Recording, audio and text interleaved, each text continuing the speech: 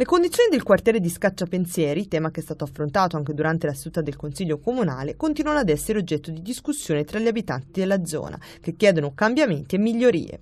Oltre alla necessità di ulteriori parcheggi per il crescente traffico e di marciapiedi per rendere i pedoni più sicuri e della mancata potatura degli alberi in via Donizetti, la questione che sta più a cuore agli abitanti riguarda la destinazione di utilizzo della Valle dell'Acqua Viva, zona verde lasciata all'incuria da tempo e per la quale è stato anche costituito un comitato che ha già raccolto più di 200 firme affinché si riesca a renderla una zona usufruibile ed utile per la cittadinanza. Questa è la volontà degli abitanti di Scacciapensieri che hanno parlato ai nostri microfoni. Ho visto che nella zona di Scacciapensieri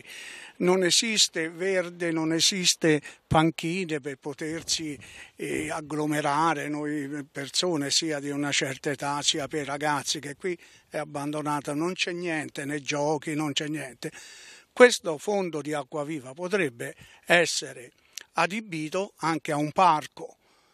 oltre se non tutto, ma visto che manca anche i parcheggi, i posteggi per l'ospedale delle Scotte che la gente parcheggia fino a giù al ponte di Malizia, una parte vicina all'ospedale potrebbe essere presa e adibita a parcheggio per tutte le persone che vengono all'ospedale e che non trovano posto per parcheggiare. Già da 5-6 anni, 10 anni fa eh, ci siamo riuniti 300 persone, abbiamo fatto le firme e abbiamo sempre proposto al comune, sono venuti vari sindaci a vedere, ma non si è mosso niente. I marciapiedi sono tutti rotti.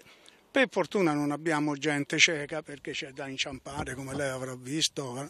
quindi c'è problematiche da risolvere che da anni di incuria non hanno mai risolto. Eh, c'è un limite di velocità in certi punti 30 all'ora, 30 km all'ora, ma nessuno osserva, io non dico che devono andare a 30 km, ma perlomeno 40-50. La gente sfreccia, sembra eh, a Monza anziché in un centro cittadino. Poi eh, non dimentichiamo eh, nella zona eh, di via Donizetti. È trascurata in quanto la proprietà, essendo il fondo privato, un fondo della società Acquaviva che eh, Decano ora è in liquidazione, cioè è andata in fallimento, trascura tutta la, la proprietà, la posatura degli alberi, perché eh, i polloni e i rami eh, invadono la carreggiata con grave pericolo eh, naturalmente della viabilità. Poi c'è un'invasione di ungolati spaventosa che si avvicina alle abitazioni e la gente di, la sera, di notte, ha paura anche di uscire col cane perché insomma,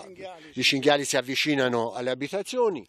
Ora erano stati allontanati poco tempo fa però, perché erano aperte le cacce al cinghiale, però si sono, si sono rifatti vivi, quindi hanno eh, rioccupato questo, questo, posto, questo insediamento. Noi siamo intervenuti eh, segnalando alle varie istituzioni, oltre che all'amministrazione comunale, le problematiche presenti in questa zona. In particolare poi abbiamo anche interessato un rappresentante politico, un consigliere politico, Campanini, il quale si è molto adoperato tra l'altro di illustrare le nostre problematiche, che sono quelle poi eh, già eh, esposte eh, dai miei condomini, diciamo. E quindi in particolare sono il traffico, la presenza, la mancanza di marciapiedi, la mancanza di eh, manutenzione delle piante, la difficoltà che abbiamo noi abitanti di parcheggiare le macchine, anzi di transitare nella via perché eh, mancando i parcheggi le macchine vengono ovviamente parcheggiate nella strada e quindi la corsia si è ridotta.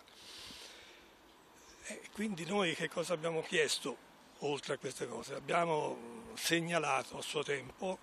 in alcuni incontri avvenuti presso il centro civico di San Miniato eh, la necessità per esempio di affrontare questo problema prendendo in considerazione il fatto eh, di eh, realizzare un anello diciamo così, di congiunzione tra eh, la parte diciamo, che viene dalle taverne e che gira dietro l'ospedale. Questo eh, dovrebbe servire per alleggerire questo traffico perché ci sono dei momenti durante la giornata